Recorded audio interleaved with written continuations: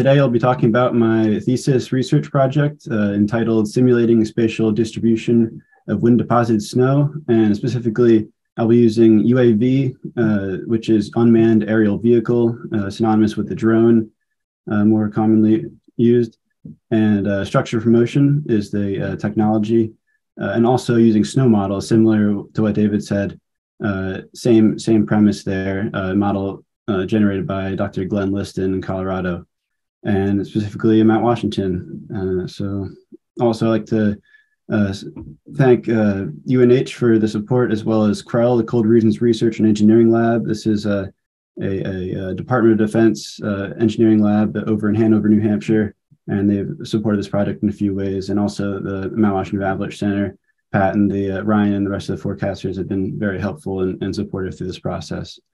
So first, I'd like just to uh, to begin with the UNH land acknowledgement. This is their statement they put out for. Uh, this is their kind of statement for New Hampshire, and just like to recognize that I, I conducted research on the Pennacook, Abenaki, and Wabanaki people's land. So I really uh, I just wanted to acknowledge that to start. So first, we're going to move into a little bit of a outline for today's uh, presentation. I'm going to start with a little bit of some product motivation and, and background then uh, move into the study area and field data collection methods, then move into the field data processing and results section, then the uh, talk about the snow model processing results, and finally conclude with some conclusions and future work that I'll be conducting. So there's a, copious amount of, of uh, acronyms for this line of work. So here's just a, a list, just throwing them at you. Don't feel like you need to know or read all of them, but just here they are.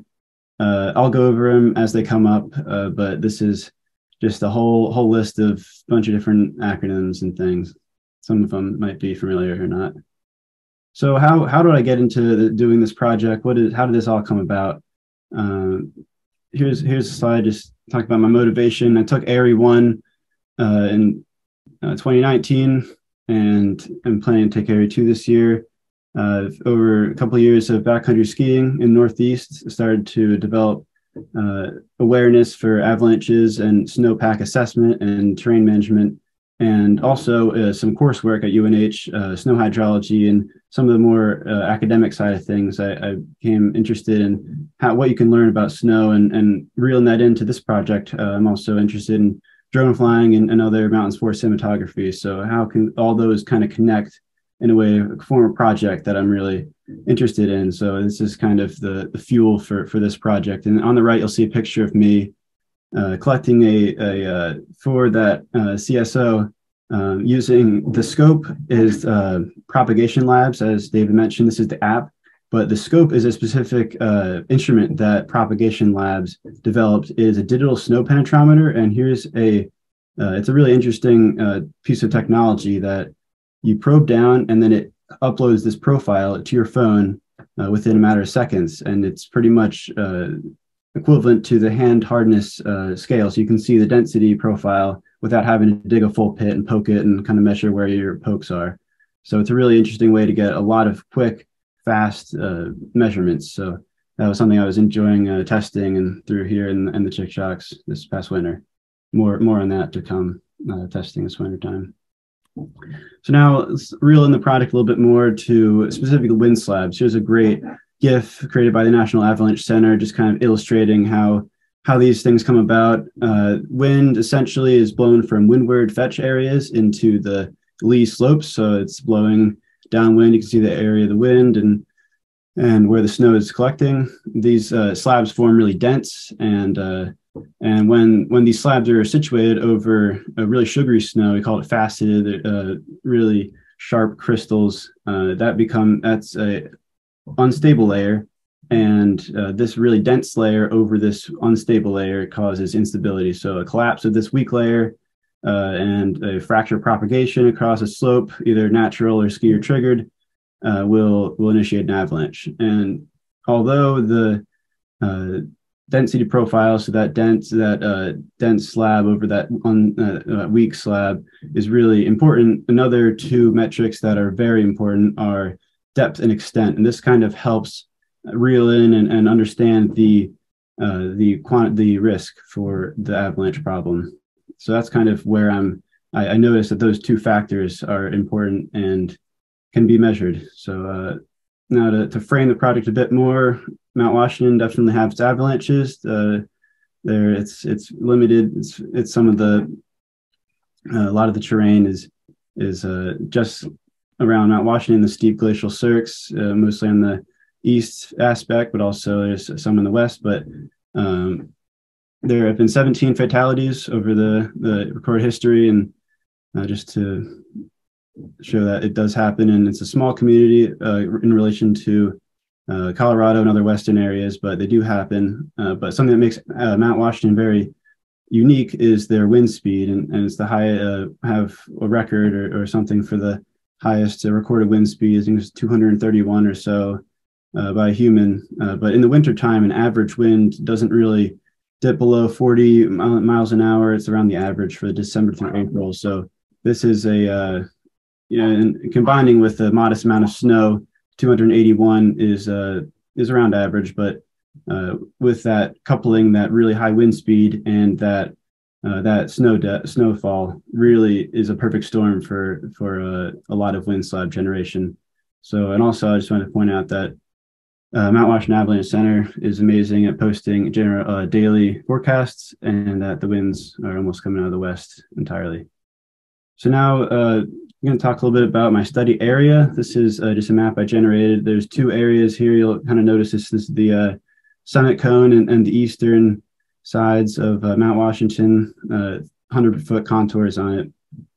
The red outline is the Tuckerman Ravine bounds for uh, from one study area. Another one is BSG, which I, I uh, call it's it's the Boot Spur Gullies region, consisting of Hillmans and the Lower Snowfield, and uh, and the large box there is the snow model input area. So that's uh, I'll talk about snow model in in the coming slides, but that's just to uh, just to frame where where that's going in. So now, if you're not familiar with the area, here's just a Google Earth screenshot with the with the bounds overlaid. Uh, you can see it's uh, Tucks has predominantly eastern fa- uh, eastern aspect uh, with a little bit of south southeast and a little bit of northeast mixed in. And Boot Spur Gullies is also a similar aspect as well. You can see that summit cone kind of poking up on the right. Uh, and then just to frame it again a little bit more, uh, here's the pictures in the wintertime, BSG on the left and Tucks on the right. it's a very well-known glacial cirque. A lot of people come out there in, in the spring for for uh, the snow because uh, quite a bit of snow ends up with all the avalanche debris and, and how much gets transported in. But just want to talk a little bit about how mu- how Mount Washington in this specific area, Tuckerman Ravine, gets so much snow accumulation is really responsible from this Bigelow lawn. It's this really large fetch area that's almost entirely flat. It's uh, situated directly above, uh, due west of the ravine. So in this image, the wind is coming kind of straight at us in the screen and that really blows all the snow into the Tucks uh, that would normally land in the Bigelow lawn area. And here's just another visualization. This is April 3rd, so in pretty sizable depth. Uh, for the season, you can see there's almost no snow in, in the Bigelow lawn area. Uh, and that just goes to show, and the wind is pretty much pushing all of it down, down slope. So there's a little bit of setup of kind of what goes on. Wind slabs are definitely prevalent. Almost all the snow accumulating in, in this area is a wind slab. Most of it, it's very rare that the storm will roll in we'll get a bunch of snow without wind. And if you are, you're, you're lucky to ski it. But uh, how can we do, how can we measure these? So the first research question I have is can digital surface models, I'll talk a bit more about what that is in the next slide, uh, be generated to determine wind slab depth and extent. And this will be done with a UAV. Uh, and the next question is, can snow model be harnessed to create snow depth maps comparable to UAV data? So this snow model doesn't require any uh, in situ or ground based sample. So my main goal is to see if this model can be used to take place of the UAV and create a similar map that will uh, will show these wind slab depth and extent uh, without needing to be there and fly? And finally, can the culmination of these tools uh, be used to gen- uh, contribute to avalanche forecast generation, not just also Mount Washington Avalanche Center, but over in other areas, uh, this could be scalable. So this technology I mentioned in the beginning, structure from motion, what is it? How does it work? Uh, essentially the motion part is moving perspective. So you can see there's a camera, it's moving and taking pictures of an object. The within every perspective, you can see these red dots. It sees these red dots uh, from different perspectives and it uh, finds them. They're called tie points. These tie points are are then found. This is the computer algorithm finding these tie points uh, between photos. And with the IMU, it's an inertial measurement unit and GPS uh, on the drone themselves.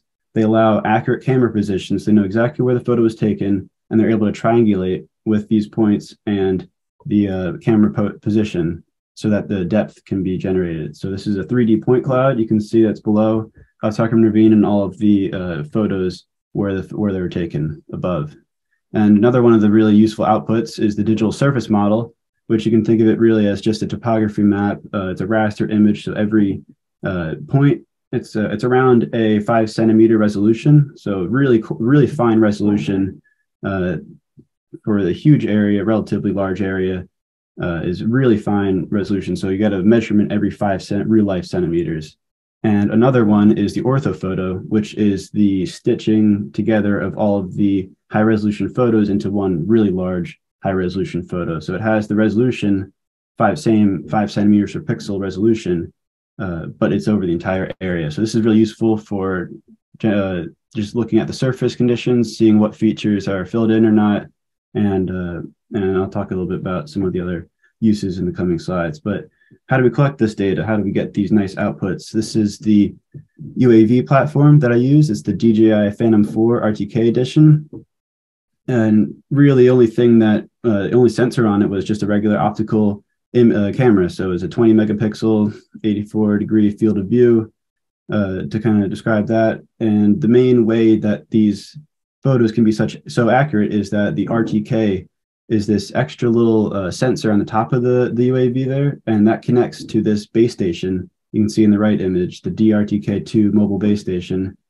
And when I upload a point that was collected previously, then the all the layers will stack so that they were they're accurate uh, but they're actually around one centimeter positional accuracy is pretty pretty pretty fine so uh, the the drone knows actually exactly where it is uh, up to one centimeter and uh, and the ground sampling distance gsd i was getting is around one centimeter as well so this is essentially uh, in a photo taken from the drone what is the uh, every pixel equates to one real life centimeter on the ground. So I'm going to talk a little bit more about how these flights are actually conducted. So first I had to create the flight plan using the DJI proprietary software built into the remote. Uh, had to use to wear, terrain awareness mode because if you're familiar with the FAA, there's a regulation that you need to stay uh, 400 meters above the ground level. And in this really rapid changing elevation setting, I need to stay at a consistent height. I can't just fly 400 above the top, or else I'll be uh, a thousand feet or so above the floor of the ravine. So I need to upload uh, SRTM data. It's a shuttle radar topography mission, around 30 meter resolution satellite uh, or shuttle data, and uh, and then create the flight plan based off of that. So here's uh, some screenshots. Structured motion is most effective when it's flown at a double grid. So it's this double lawnmower back and forth kind of pattern. Each of these flights took around 18 to 20 minutes or so, depending on some conditions. Uh, and and they took around 400 photos per flight. And I was flying at a 45 meter uh, height above the ground, and then at a five, uh, speed of 5.3 meters a second. And an interesting thing, you can kind of see how the uh, terrain, uh, how the profile goes as it's completing the flight path similar similar sort of plan for Boot Spur Gullies area. Uh, this was a little bit smaller, just a square footage type area, so I was able to fly a little bit lower and a little bit slower to get a even finer resolution, uh, which was the desired goal. So we got this now, but what's the process of actually collecting this data? Tucks is pretty uh, fairly remote as as uh, study areas go in, in this field, so I had to hike uh, or ski depending on the trail conditions. Two and a half miles up the Tuckerman Trail, and with all the gear it's it was around 30 to 40 pounds depending on how many batteries i took uh, and all rigged up to my ski pack Then I would set up the base station and link it with the UAV, load the flight plan and execute. It was as simple as just sliding and, and it took off by itself. It would do the flight plan. It would know exactly when the battery was low enough and it couldn't complete anymore. So it would fly back to the home point, and most of the time I'd have to land it manually or, or catch it in the air, as the uh, picture behind me is showing. Uh, and then I would repeat for the other study area and descend the trail if, if it was in. And got kind of desperate when it wasn't in, so it was definitely got some some scratches on the bases, but that's that's just how it goes. So uh, first, we need some baseline data. So we need snow off conditions. We need uh, the snow off to get the uh, snow depth. So first, I collected monument points with the RTK GPS system that I created uh, it's a separate system that has around one to five centimeter positional accuracy, just so I had a known location to set up that RTK base station for the uh, for the UAV, um, which is set up here, and that's you'll see in some other images. That's the uh, base station that connects with the drone. So two different RTK systems, but the one moving forward is the uh, is the is the UAV connected one.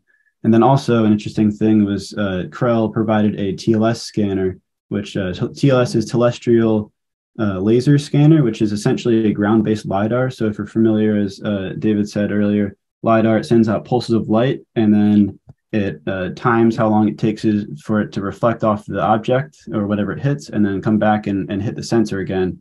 And doing a simple speed of light calculation, you can get the distance away. So both study areas were scanned using this, and this was a served as a validation of my of my uh, ground my, my baseline UAV measurements. So here's just a summary of the completed flights over the season. I did 15 in, in Tuckerman Ravine and uh, 13 for the Boot Spur Gullies area. Sometimes it was one of them was was able to be flown, one of them was not. Boot Spur Gullies, which was a little bit more sheltered by the wind. I started from a lower elevation but I, I preferred to fly Tuckerman Ravine because that was where the most interesting things were happening. And, and I tried to take also a, a picture from a similar perspective by Connection Cache, uh, just to kind of see a, a, visual time series of, of all the days I flew from from the early season on to the spring. Just let that run again. Yeah, there's that avalanche and yep, okay. So now, obviously, with collecting data on Mount Washington, there's going to be some problems. So uh, drones are not really meant to fly here. This is a really difficult area to collect data. Uh, as we all know, it, things change very quickly up there. So I can go up and you know it can forecast only 10 to 20 miles an hour wind, and and it would go up and it'd be blowing 30 and gusts to 40 randomly, or sometimes it would just be still. never know, and clouds would roll in and out. So that was difficult to to compare, especially when I'm a two hour drive up from Durham, uh, where UNH is, and then and then the hike up. Uh, there's a lot of a lot of different moving parts.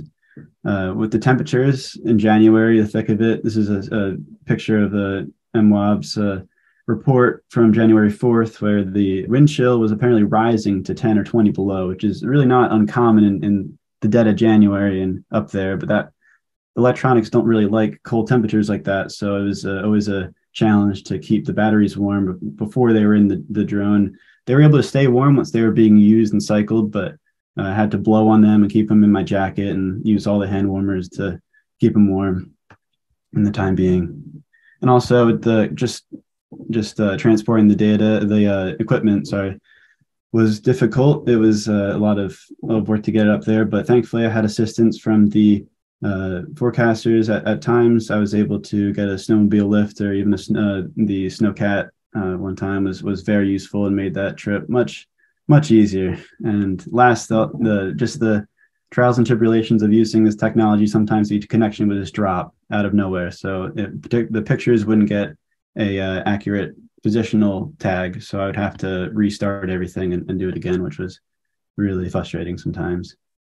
So Next, we can talk a little bit about this past winter and summer. Here's some graphs I made from the Mount Washington Observatory data. This is just a daily average of the temperature. You can see the, the freezing line on there. And uh, generally, it was a pretty warm winter. There were a couple a couple weird days in, in February and, and March where it spiked above freezing.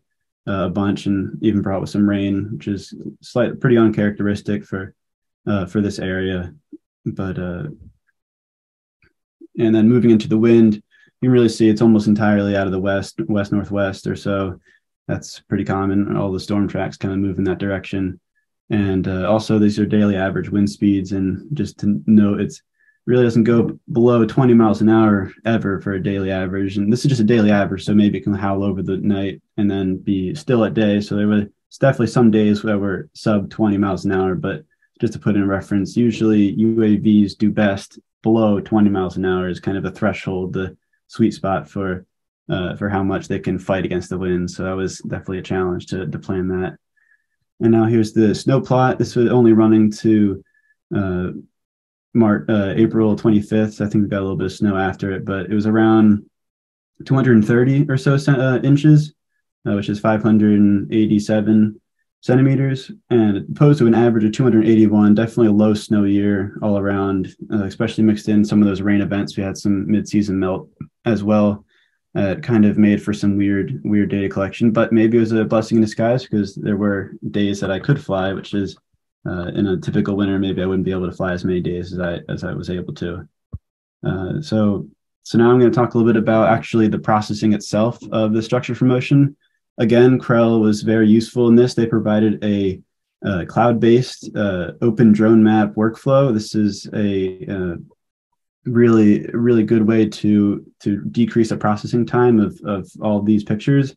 With around 1,400 images, if I were to run it on my my my laptop, which has around 16 gigs of RAM. It's it's a decent laptop, but it would take around a week, full straight processing, fans running the whole time. I was worried that the uh, computer is going to blow up randomly. So thankfully, this dr- dr- drastically decreased the time to six hours, which actually able to uh, pump out the snow depth models uh, much faster than having them run on my local machine. And uh, these are just two of the figures that uh, print out from the report, just showing kind of where the GPSs are taken from and and uh, the different camera locations. And with all this, I was getting around a 0.03 meter error, which is uh, pretty good for positional error with these large uh, zones.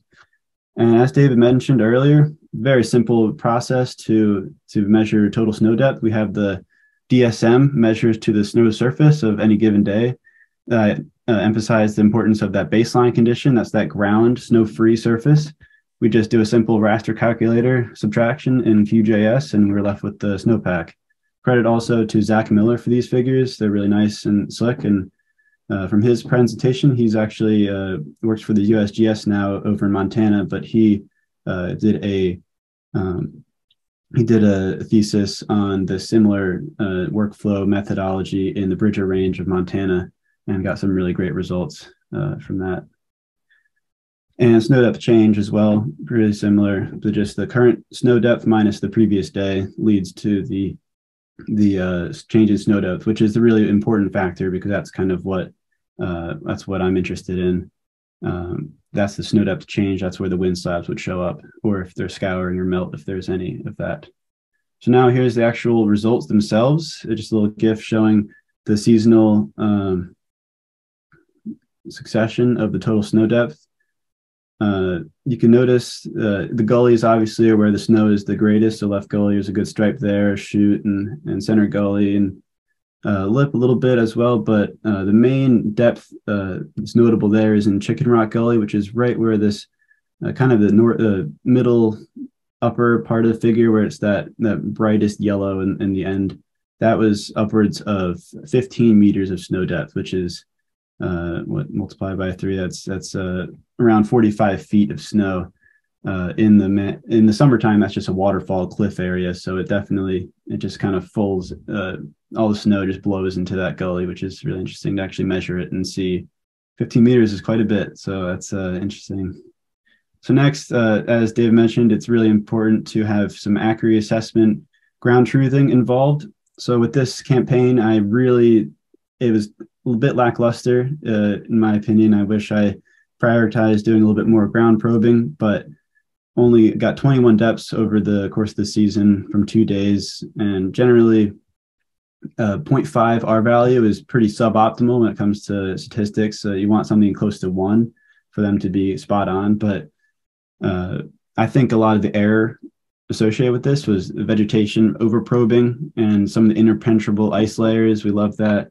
Uh, impenetrable crusts and, and tucks. So sometimes they can't really probe through that. So that might give throw some errors, as well as probe angle. If I'm going down 150, 200 centimeters, there it matters what kind of angle you're probing in. So sometimes that could throw it off as well. Uh, but also a lot of the times I was flying by myself and uh, I wear a beacon, but didn't always feel comfortable walking around in the center when I was measuring wind slabs when I could be be the product of one. So that was uh, the main problem with this uh, with this with this study. Next, I'm going to uh, talk a little bit about some of the useful tools I created. This is the Google Earth Engine, uh, as David was saying. It's, it's a great tool to code in an app that you can kind of show and, and share with with the public. There's a QR code, but I'll also uh, throw it into the chat as well uh, if you'd like to view it for yourself. It's a fairly chat. Okay, I'll, I'll throw it in the. Yeah.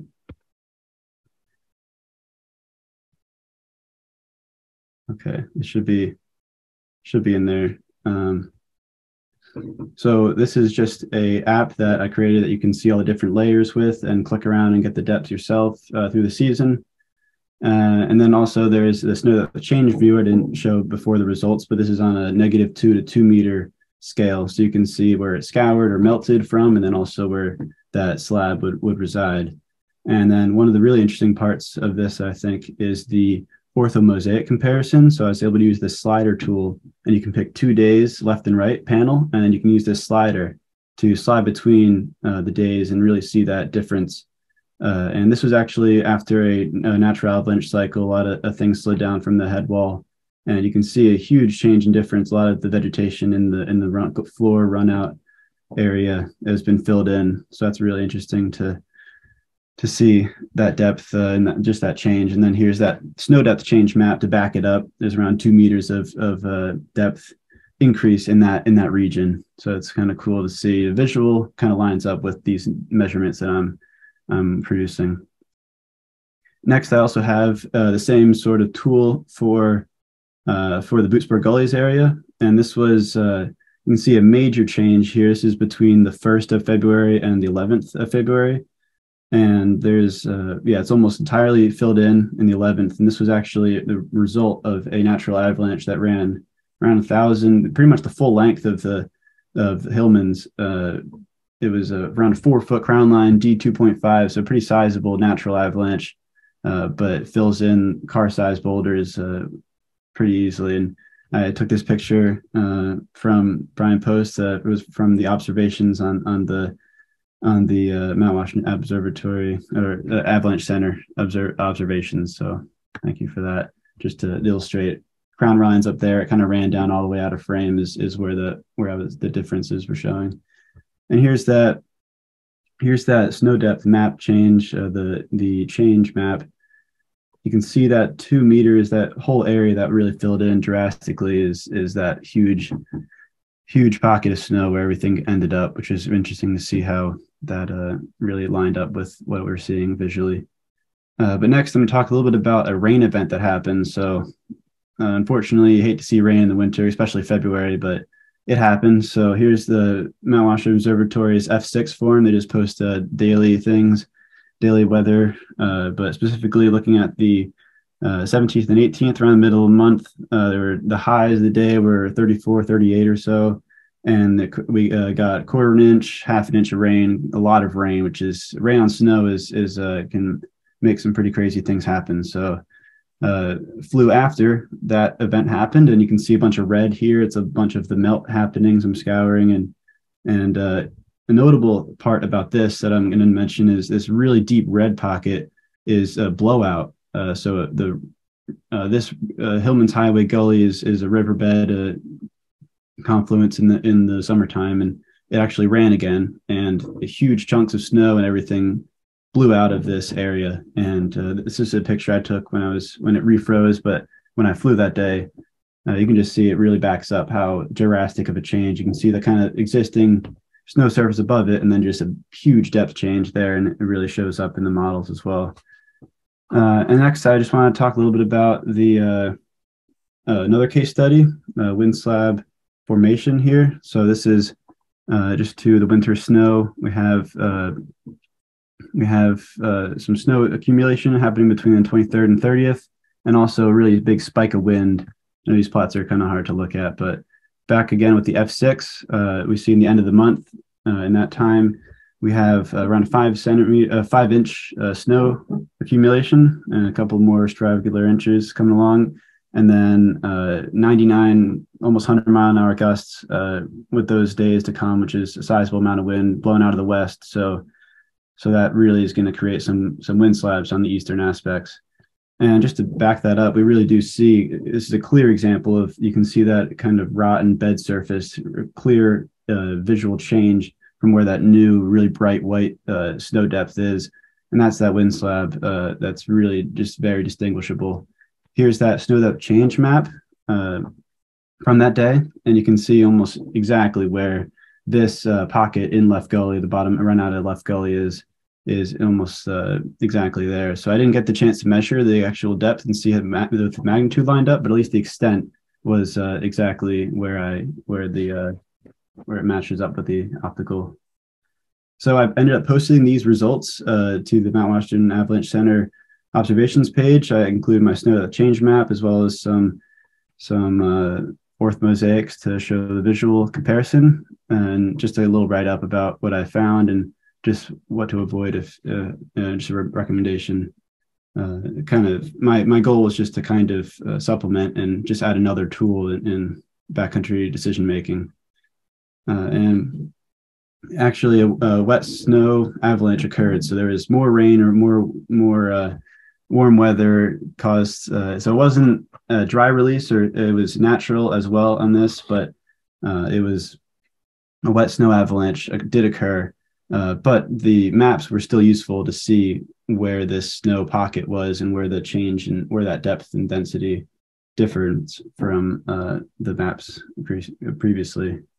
So here's just a side by side of the uh, previous snow depth change map. You can see all those slabs, those blue areas where the snow is accumulated. And then on the right is the change between the after slide and uh, right before it.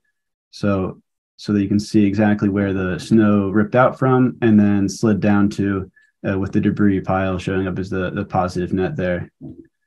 So that's going to kind of wrap up the end of my UAV results section. I'm going to talk a little bit about snow model quickly. This is uh, this is kind of where the research is moving. It's an ongoing effort, but snow models essentially, as as David was saying, it's an analytical snow redistribution model.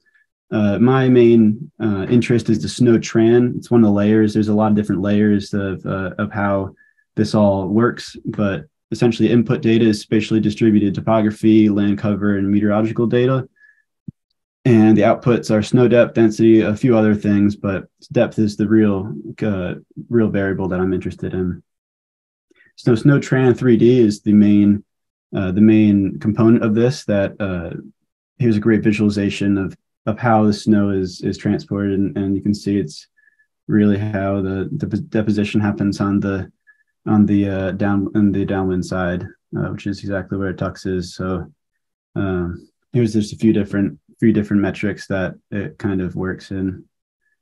Uh, so the main workflow uh, for creating these models is uploading the. I used a one meter uh, grid cell, which is the minimum, uh, it's, it's the finest resolution you can use for snow model, and and then I define the spatial extent and resolution process the meteorological station data. I use uh, Mount Washington Observatory data on an a, uh, hourly basis, but I'm running it as a daily right now. Uh, and then process it, and then add, the parameter file. There's a few different parameters you can get to shift things around and run it. So here's some of the output. This is a GIF from the season coinciding with the dates that I flew.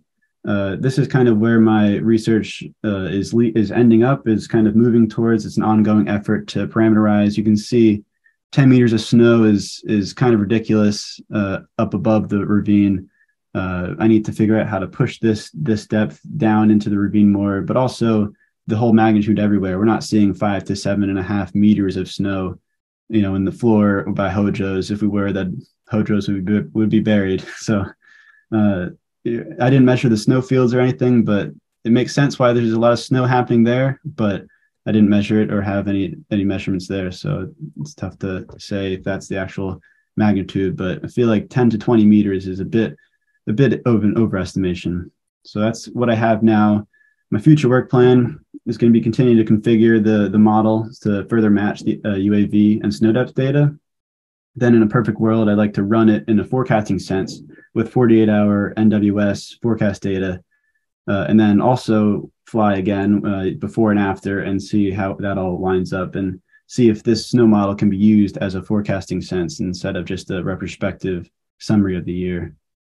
So, uh, a quick conclusion here uh, I conducted uh, a bunch of flights and uh, concluded that UAV collected structure from motion is an effective means of wind slab extent and depth detection. Uh, showed it with a, a, bunch of those maps there. There's a whole bunch of other ones to see, and, and I really invite you to to check out that uh, app, the Google Earth Engine I shared. Um, it's it's really interesting to click around, especially just look at the orthomosaics and see uh, just how visually what changes through the days. Uh, and then also collecting UAV routine uh, data in a mountainous area, especially Mount Washington, is very difficult and and uh, labor intensive. So that's why a snow model is is the the missing piece there. But in order for it to be used, it needs further parameterization to be as useful as the UAV data. So that's uh, going to wrap it up for my presentation. I'd like to just thank a whole lot of people. Adam Hunsaker is a research partner at UNH. Jennifer Jacobs is my advisor. Glen Liston, uh, he's been a huge, tremendous help with the snow model uh, running, and also the whole uh, MWAC team. Everyone's been very supportive. I'm really thankful for that.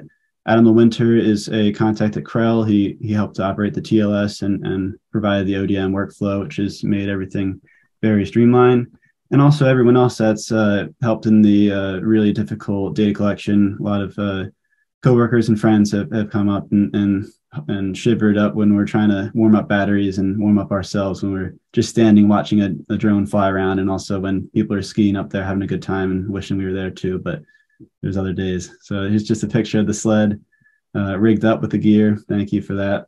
And then just got a whole bunch of citations, and now I'll uh, thank you for listening. I'll take any questions.